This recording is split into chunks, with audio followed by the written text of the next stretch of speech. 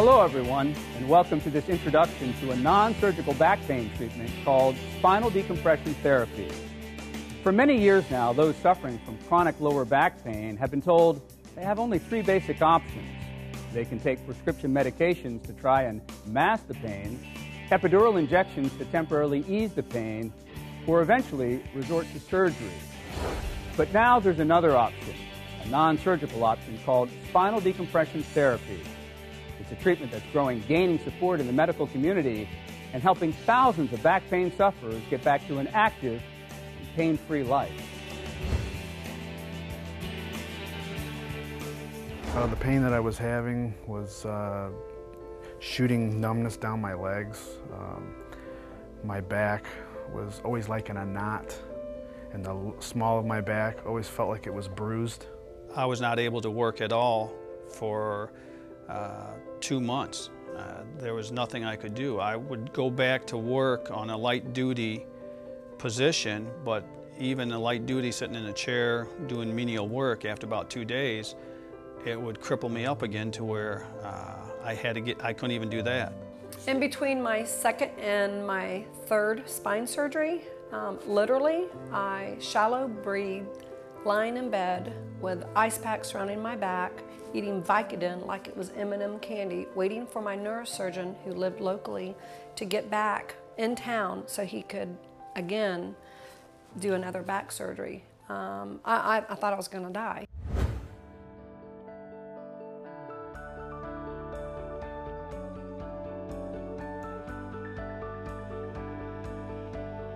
It, it brought my life back to me.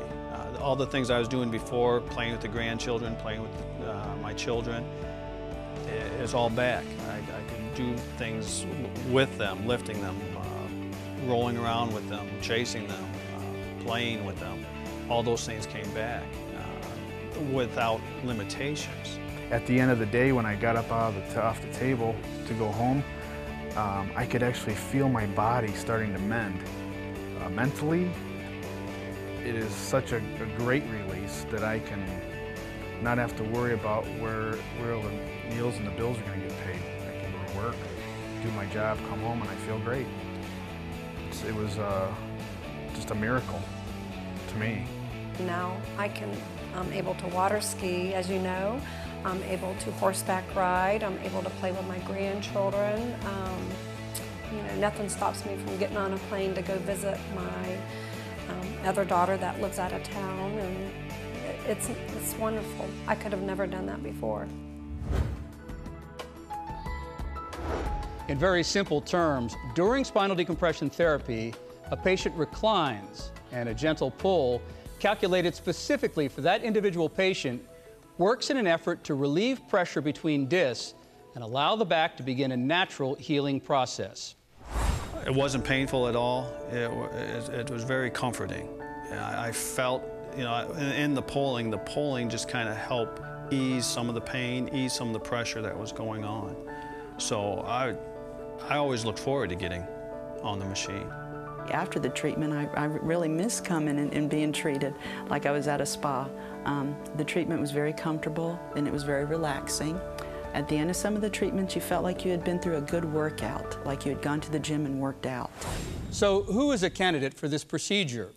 Well, the literature on spinal decompression therapy says it can provide relief for herniated discs, degenerative discs, sciatica, general lower back pain, and even failed back surgery. In my research for this report, I interviewed well over 200 patients, including patients with each one of those conditions.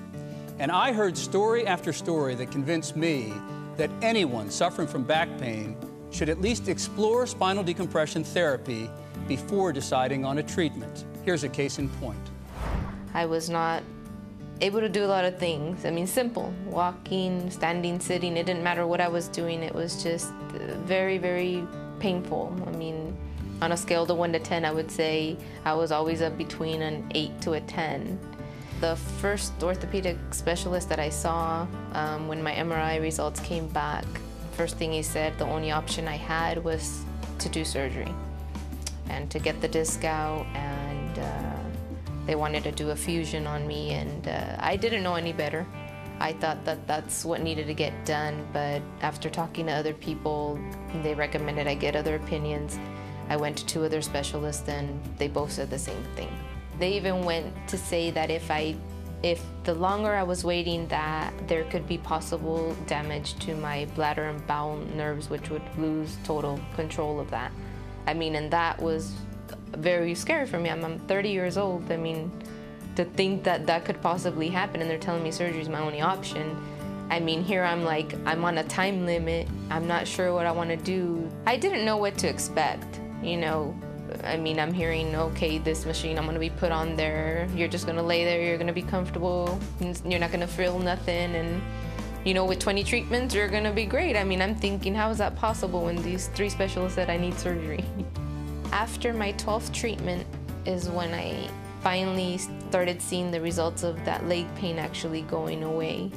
Um, and after that 12th treatment, it just started even getting better and better, and um, it just went away after that. Maybe after the 15th treatment, the pain on my leg went away, and I was just amazed. I mean, I just couldn't believe that really that this had worked.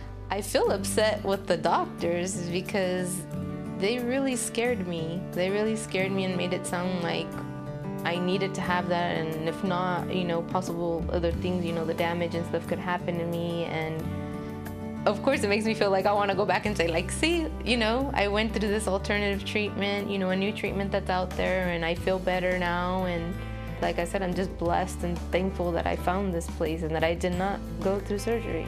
I would not be where I'm at right now if I would have been through surgery. I probably still would have been bed resting or embrace or, you know, you know, not be functioning the way I am right now in my life. We've been talking about the success stories of spinal decompression therapy. Let's talk about the science behind it and exactly how it works. Before we talk about the science behind it, let's review the anatomy of what we're trying to fix. This is a picture of your lower back. The lower back has bones, which are called vertebrae. They have discs, which separate the space between the bones, and they have nerves.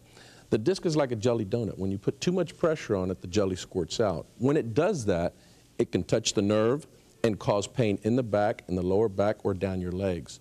The object or the science behind spinal decompression is to be able to take the disc that's affected and relieve the pressure on that disc by gently distracting the two bones, the, the one on the top, the one on the bottom, creating a negative pressure inside that disc and allowing for the jelly to go back in its place. Now, I know talking to people around the country, they'd say, well, this is kind of a rack and it's going to pull me and that's going to hurt. Now, I know for me it was a very comfortable experience.